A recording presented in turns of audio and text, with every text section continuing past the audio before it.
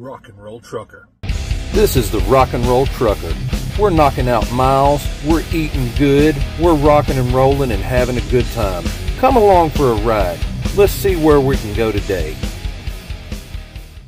Good morning, mid morning. It's about 9:30 a.m. Monday, November 27th. We are past our Thanksgiving break.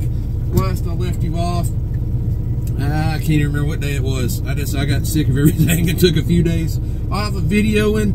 I think I had everybody updated through maybe Tuesday or something. Wednesday, I finally got my little three day like overworked hell trip run there done and got back home Wednesday night.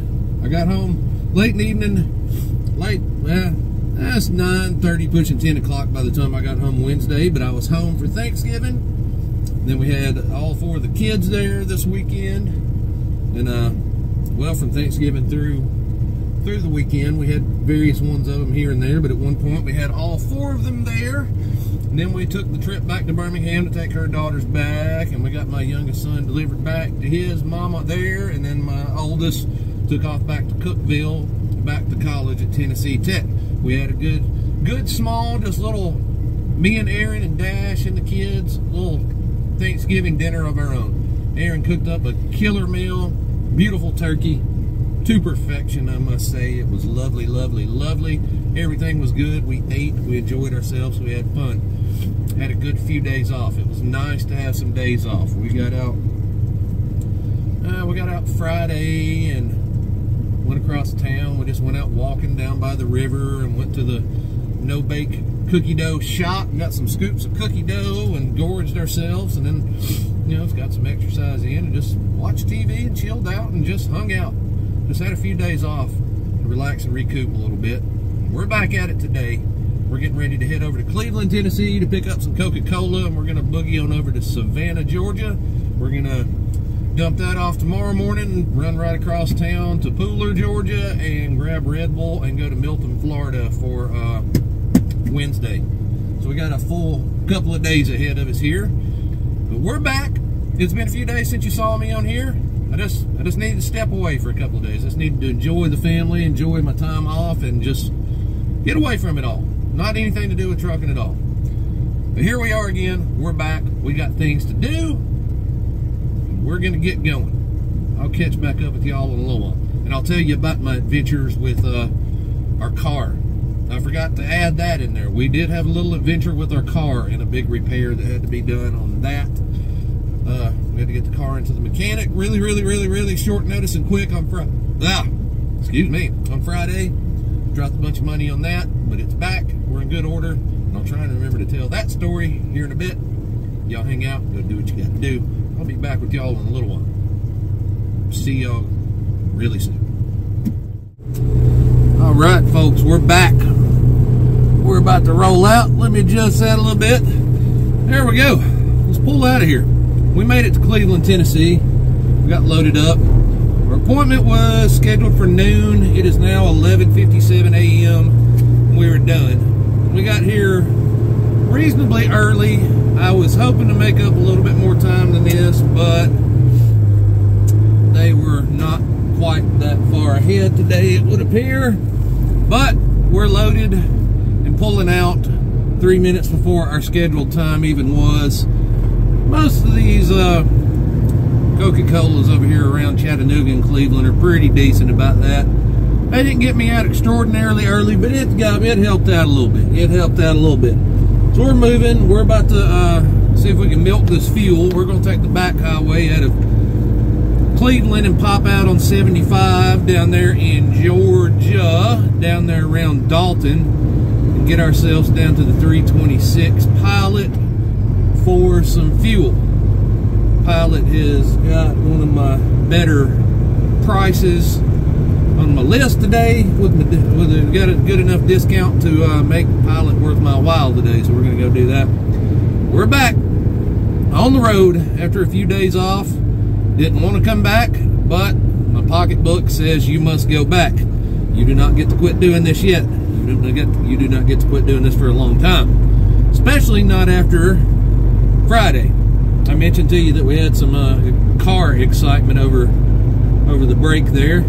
Uh, Wednesday, Erin went up to uh, or down to Birmingham to meet up and pick up her daughters, and uh,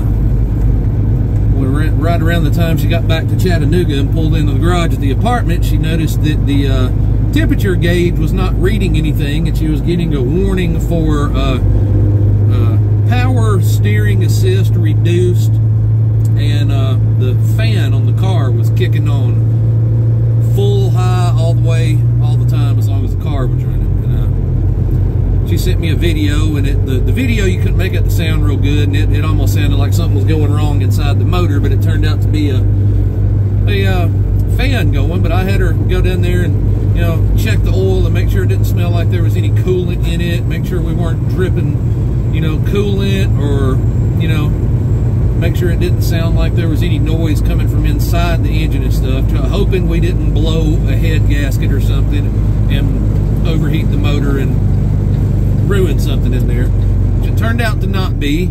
I did my own, you know, I had her do a bunch of things and check several things for me because I was in the truck and she was at home. So I was kind of trying to help out, help diagnose this problem from long distance. And it got down to the point where I was pretty convinced it was either going to be a temperature, a coolant temperature sensor, or the thermostat.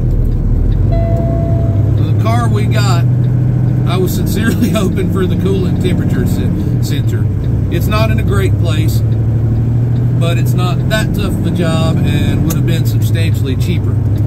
The car we have, we've got a, it's a 2017 Cadillac XT5. It's got the Cadillac slash General Motors 3.6 liter uh, V6 in it. They all, you know, back in the day, a thermostat on any normal vehicle, that was like a $10 part, you know, and a $20, $25 fix by any, you know, southern shade tree mechanic on earth, including myself, you know, I've, I've done it before in the driveway and all. Well, on this particular car, they decided that it's a very fancy thermostat, ties in with all kinds of sensors and everything, and they thought that the best place for it would be on top of the engine, uh, up underneath the upper intake manifold and all of the intake, you know, air intake plumbing and all that stuff. Very, very hard spot to get to, and I didn't have the time or the means or the patience or the experience enough to dig that far off into it. I, I can I can turn a wrench somewhat on some things as long as it's simple stuff. I'm not a mechanic by any means. I'm you know I'm mechanically capable, but I know when something is not going to be worth my while that I'm going to burn a whole entire day doing something that a shop can do in a couple of hours. Well, the thermostat itself ended up being uh, several hundred bucks. you know, like I said, back in the day, $10 part, $20 part. Several hundred dollars, and I'm not even going to get into the uh, labor cost involved with it. We, the only lucky breakthrough all of it was, being on a holiday weekend, we've got a shop right around the corner from the apartment complex, a Firestone shop that, you know, it's a do-it-all mechanic place. They reviewed good, we checked them out and everything they were actually able to take us in first thing Friday morning and do the do the repair, which was very important to us. We've got that car, my motorcycle, and we've got this truck. We've we've got, you know, we don't have a lot of need for two cars, so we've just got the one car. So if we have any problems with that car, you know, it can be an issue for us. Especially considering we were having to. Uh, transport kids back and forth in a whole bunch of different directions for the holiday and everything too. So we had to have that car Saturday. We had to have the car Friday night, which luckily we got it back in time. They got us done in a timely fashion. Not even close to being cheap or even reasonable in my book, but they got it done. You know, so we had, it was kind of we had to pay for the convenience of having it done on short notice on a Friday, more or less. Uh, and we got it done, but that was our holiday adventure there. And uh, it's really kind of crazy, modern mechanic shops and everything. You know, back in the day, mechanics generally had an idea, you know, experienced mechanics generally had an idea of, yeah, I can do this job. It'll take me roughly so and so. You know, I'll charge you about this much for it. These, like in modern days now, it's like they've got computers, you know, and books telling them how long that they, how many hours that they should charge for these jobs. A lot of these jobs, we all know damn well it doesn't take that many hours to do them. They know it doesn't take that long to do them, but somehow, some way, they always manage to do it in just the right amount of time that the book quoted and charge you for the full price. They always tell you the price and they'll be like, well, it might not take that long. You know, we might be able to get it done quicker than that. No, no, no, no. Very rarely do you find them find a shop that will, you know, unless you know somebody and it's your buddy or something like that that's trying to be, you know, honest and do you right. They always end up charging what the book says. There's no real world just this is how long it really takes. This is how long it's going to take us to do it. This is what the job's worth. There's no more of that. Computer tells them how long it should take, and by God, that's how long it takes them. So, but we got it done. We got it fixed in just enough time to get everybody taken where we needed to get them taken and all that stuff. So we thought we were going to be in a bad spot, and uh, you know, we're thankful to have the one car. I like the car. It's a nice car. Not a convenient car to get it worked on. That's for sure. Uh, we're, we were very thankful to have that one, but it it can be, and that's really one of the first times it's ever been an inconvenience for us that having only one car, you know, is has been a problem. We've always been able to figure it out and make everything else work since we scaled down to one car. We did have two, but we scaled down and got you know got us one nicer one and got my motorbike and everything, and uh, hadn't been a problem up until that point. So it all ended up, uh, it, it was slightly financially damaging to me considering I was just now really starting to catch up with everything financially, you know, with running this trucking business and everything. And uh, that, uh, that did hurt a bit. it was, it was a very inopportune time for that to come around, but I did, thankfully. I did have the money.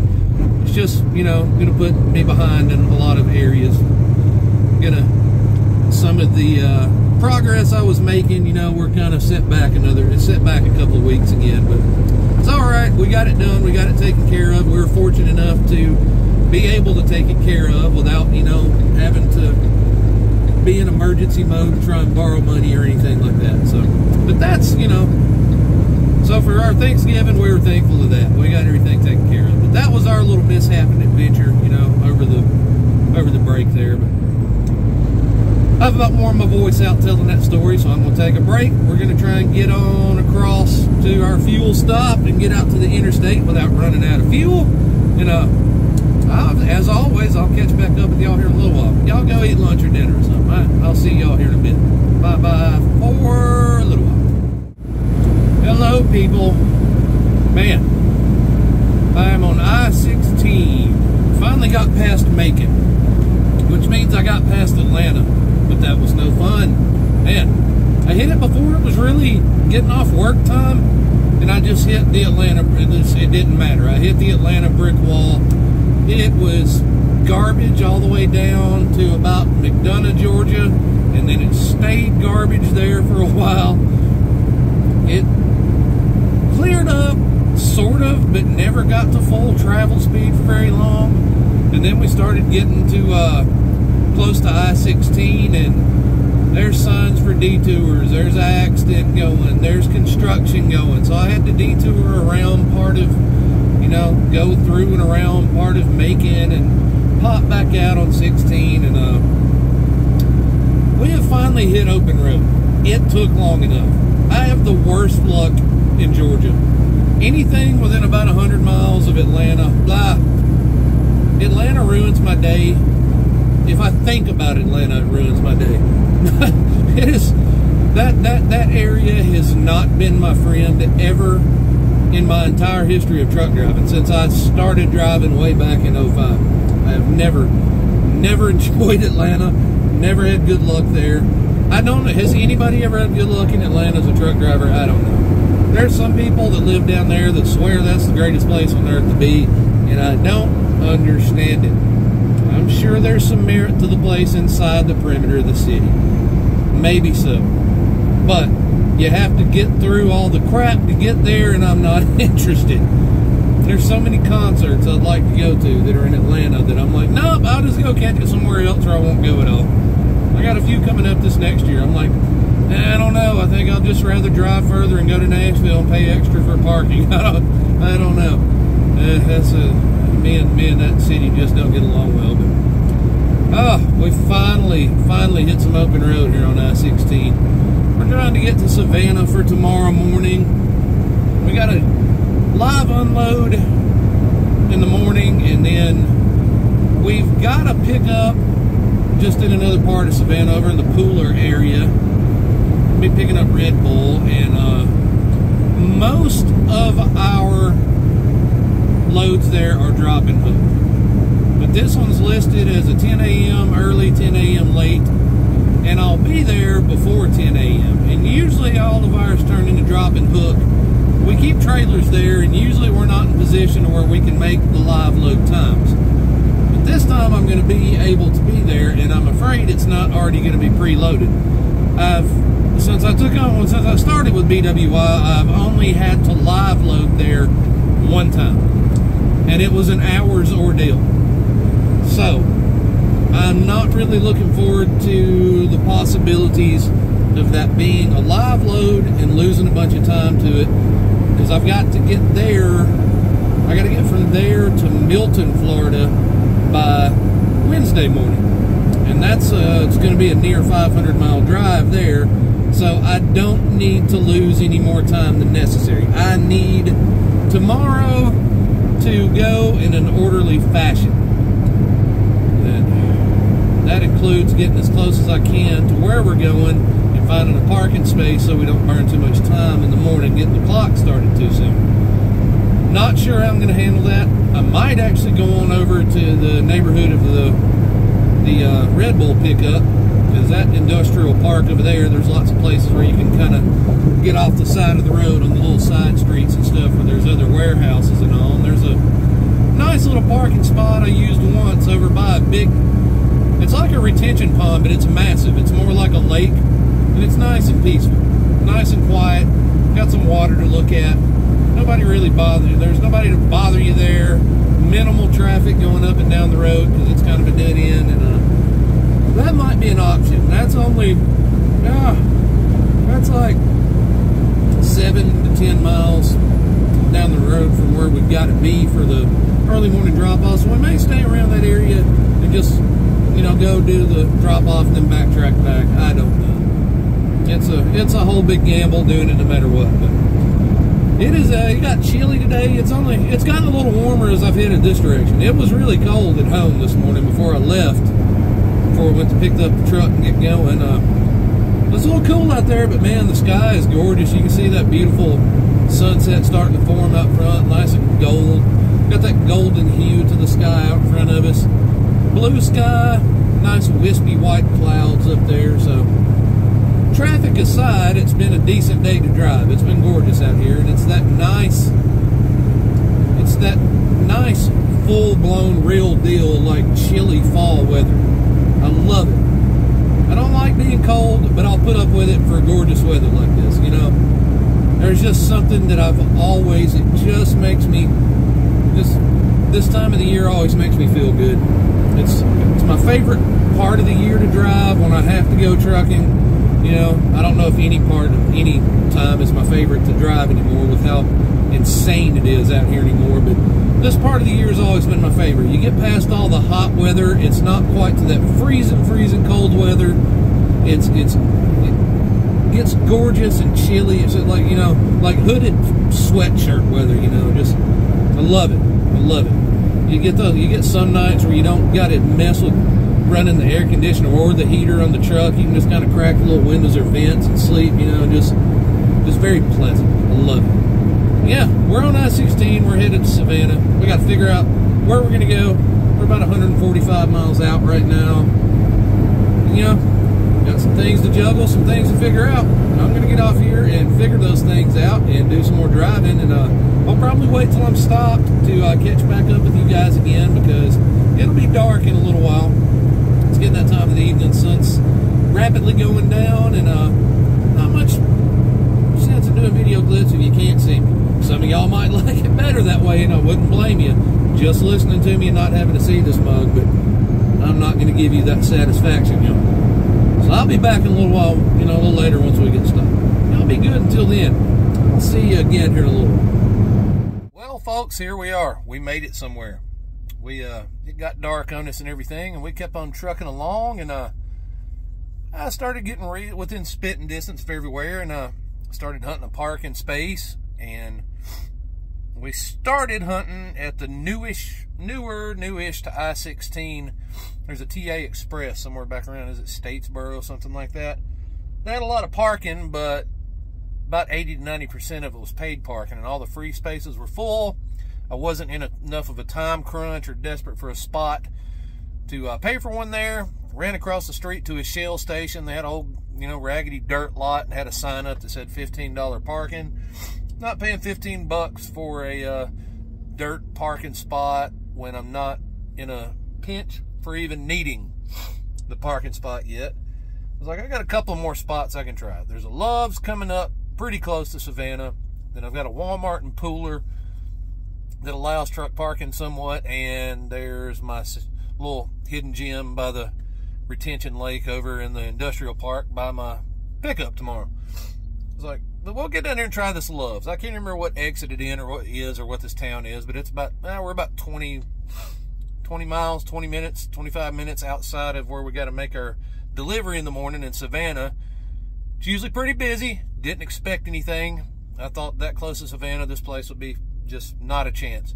Got in here and there was six or seven empty spaces, so I squeezed in one and win, win, win. I like that. We got us a restroom. We got us some coffee in the morning. We're good to go. Can't beat that. I didn't expect there to be anything. I was prepared to go on up and check the Walmart, and if nothing there, going down to my little industrial park spot. But yeah, we're here.